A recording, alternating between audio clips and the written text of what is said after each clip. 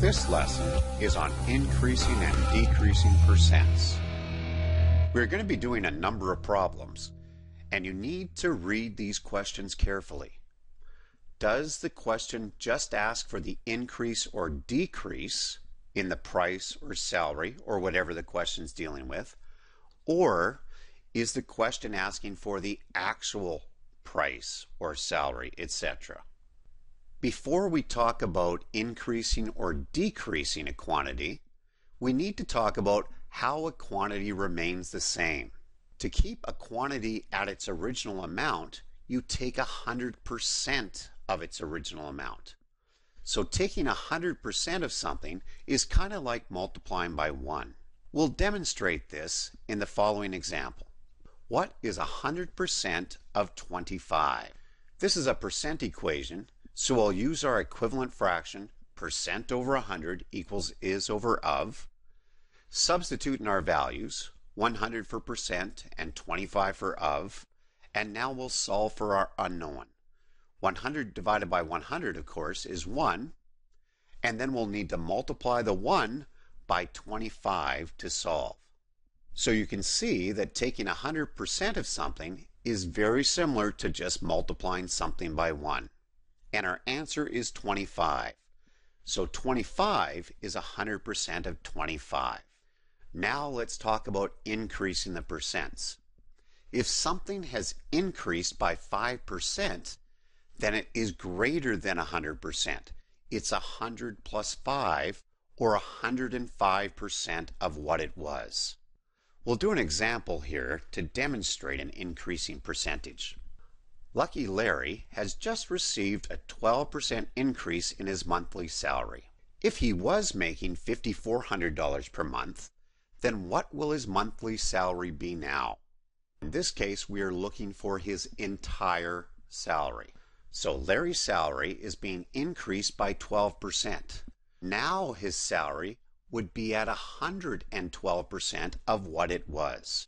So our percent equation becomes what is 112% of $5,400? We'll use our equivalent fractions, substitute in our values, and multiply to solve for the unknown. Lucky Larry's new salary is $6,048 per month. Read this example carefully and see if you notice the difference in what it is asking for. Larry just received a 12% increase in his monthly salary. If he was making $5,400 per month, then how much more money per month is he making now? In this question, we are just asking for what is the increase in his salary. We just want to know what is the 12% increase of $5,400. So our percent equation becomes what is 12% of 5400? Equivalent fractions, substitute in our values, and this time when we solve for the unknown, we get an answer of just $648. So this is just how much more money Larry is making per month. We could have also used this increase of $648 to answer Larry's new salary from example 1 we could take that increase of $648 and add it to his original salary of $5,400 to come up with our answer of 6,048. So this would be another way you could do example one. Let's talk about decreasing percents. Remember, 100% of a number equals that number. So taking 100% of something is like multiplying something by 1 the value remains unchanged. If something has a decrease of 8%, then it is 100 minus that number. So a decrease of 8% becomes 100 minus 8%, or 92% of what it was. The percentage is now less than 100 when we're talking about decreasing. We'll do an example. Betty the bargain hunter is not going to buy this special jacket for $239. She is going to wait until next week when it is 15% off. How much will the jacket cost next week? In this case, we are looking for the entire cost, not just the decrease.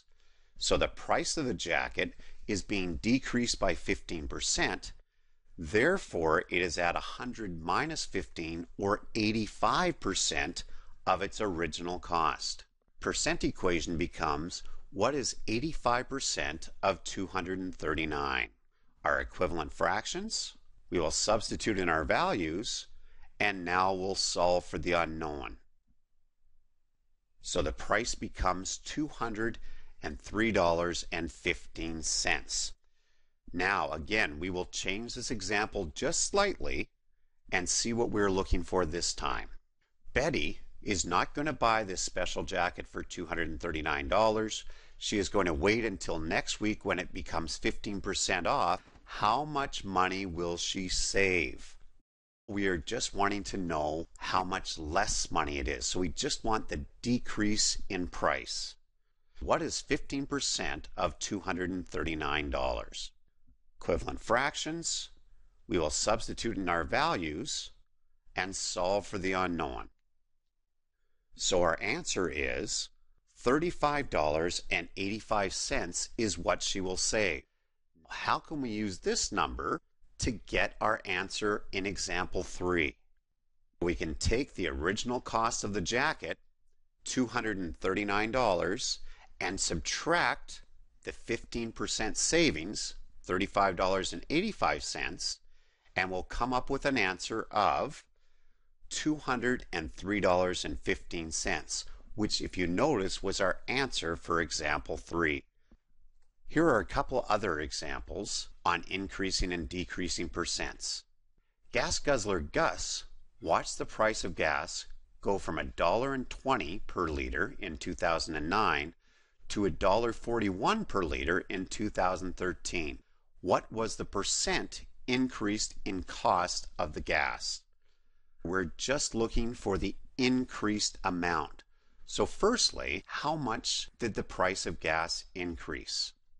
The price of gas just increased by 21 cents. Our percent equation becomes 0.21 is what percent of 120?